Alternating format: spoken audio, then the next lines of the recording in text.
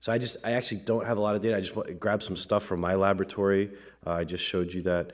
Um, here's the system that we're using. A new system is under development. Um, Demetrius and I are working on it, and um, it's it's incredibly exciting. Unfortunately, we're both limited that we can't say a lot about it right now. Um, but I just showed you this slide. This is from Demetrius's work, uh, showing in, in, a pig model uh, the healing of the device, and he uh, got incredibly sharp images. You can see the flow diverter, you can see uh, the intimal hyperplasia, and the and the correlates with histology are just spectacular. So, like Patrick said, this is almost like doing histology except in vivo.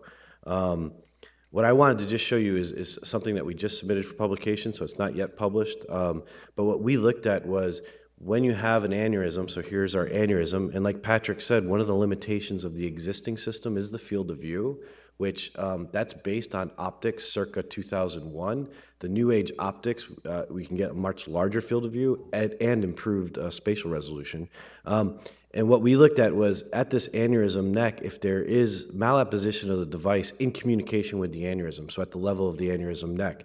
And we asked, does that make a difference for early occlusion of these aneurysms? So here is an aneurysm treated um, with, a, with a flow diverter, excellent apposition at the neck of the aneurysm. 30 days later, there's absolutely no aneurysm.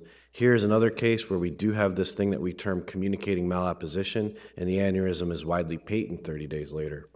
Um, and when we looked at this as a predictor for early occlusion, we found a highly uh, statistically significant uh, uh, relationship. Uh, communicating malapposition means very unlikely that the aneurysm uh, will occlude early.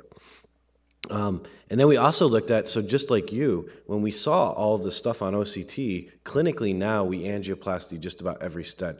Because even with vaso-CT, which has 60 micron um, isotropic voxels at its highest resolution. The problem is, is that it acquires 617 images over 20 seconds, and during that 20 seconds, you have multiple cardiac cycles. So you have a partial volume averaging of the flow diverter and the vessel wall. And so, don't get me wrong, it's incredible imaging, but I think when you're looking really at the, the device and the vessel wall, looking at the small extensive malapposition is impossible with existing radiographic techniques.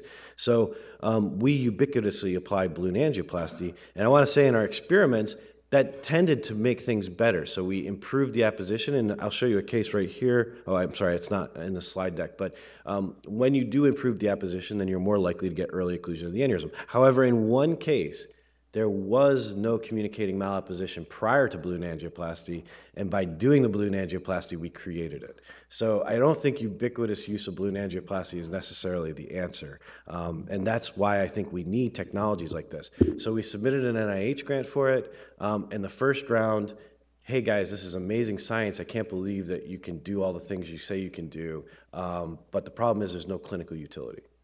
Um, so I really hope that people in this audience understand and maybe give me feedback. No, we don't need this. We need something else. I know you're working on a direct visualization system, but what what is the clinical utility of these things? That's been our Achilles heel to date.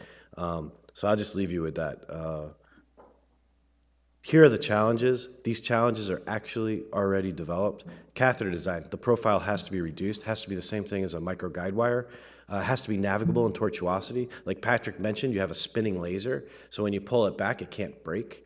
Um, and importantly, there's NURD, so when you're in tortuosity, you can have some optical uh, problems uh, with the imaging system that can create artifacts. Um, we need to improve the resolution because flow diverters, like I said, we're braiding technologies now at 12 microns, so resolution has to be there definitely increase the field of view, as Patrick just showed nicely in that very large aneurysm.